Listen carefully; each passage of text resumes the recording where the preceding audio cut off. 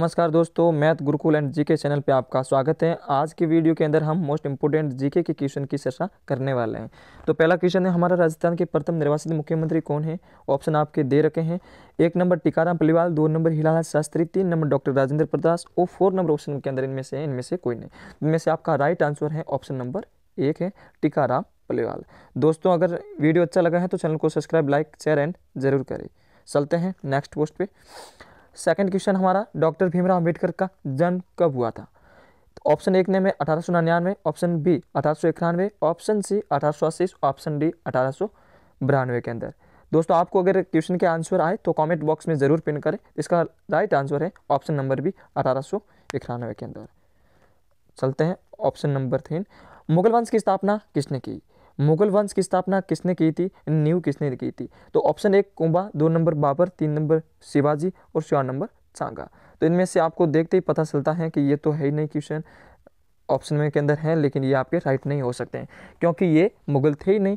और इनमें से आपका राइट आंसर है बी, बाबर, जो भारत के अंदर आया था पंद्रह के अंदर, जो युद्ध, पानीपत के फ़र्स्ट युद्ध के अंदर विजय हुआ था, उसके बारे में आपने पढ़ा होगा। नेक्स्ट क्वेश्चन है इंडिया गेट कहाँ स्थित है? इंडिया गेट है ऑप्शन नंबर एक नई दिल्ली ऑप्शन दो जयपुर, तीन नंबर उदयपुर, चार नंबर पंजाब।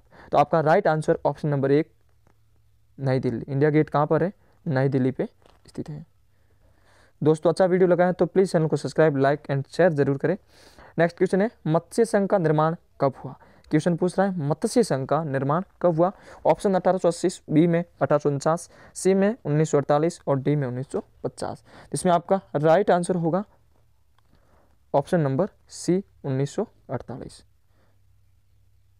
चलते हैं नेक्स्ट क्वेश्चन पे। ये बिल्कुल आसान क्वेश्चन है। गोवा की राजधानी कहाँ है? तो ऑप्शन ए में पणजी, दो में रांची, तीन में उड़ीसा और मोरानिना डी के अंदर है।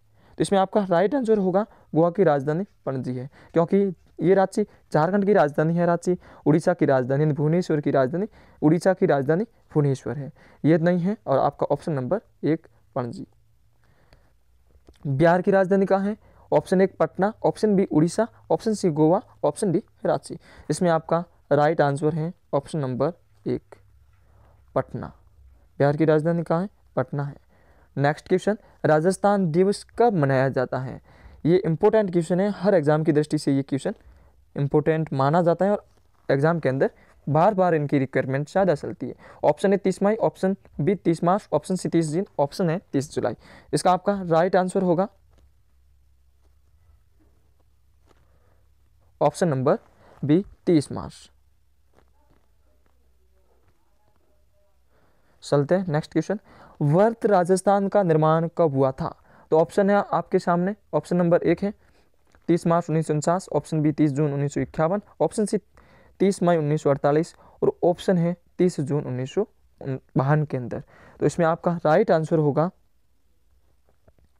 ऑप्शन नंबर एक, तीस मार्च उन्नीस सौ उनचास को वृद्ध राजस्थान का निर्माण हुआ था। नेक्स्ट क्वेश्चन है मोस्ट इंपोर्टेंट और आज की वीडियो के अंदर ये लास्ट क्वेश्चन है। विश्व हिंदी दिवस कब मनाया जाता है? तो ऑप्शन आपको एक के अंदर है, चौदह सितंबर, बी में है, दस जनवरी, सी में है, तेई, बाईस दिसंबर और डी के अंदर है, अट्ठाईस फरवरी। तो दोस्तों, मैं आपको बता देता हूँ, इसका अट्ठाईस फरवरी को आपको पता होगा, विज्ञान दिवस मनाया जाता है। क्या मनाया जाता है? विज्ञान दिवस, अट्ठाईस फरवरी राष्ट्रीय, और बाईस दिसंबर राष्ट्रीय गणित दिवस, और चौदह सितंबर को मनाया जाता है दोस्तों, राष्ट्रीय हिंदी दिवस। क्वेश्चन क्या है? यह विश्व हिंदी दिवस है, लेकिन चौदह सितंबर को क्या मनाया जाता है? विश्व हिंदी दिवस नहीं मनाया जाता है, राष्ट्रीय हिंदी दिवस चौदह सितंबर को मनाया जाता है।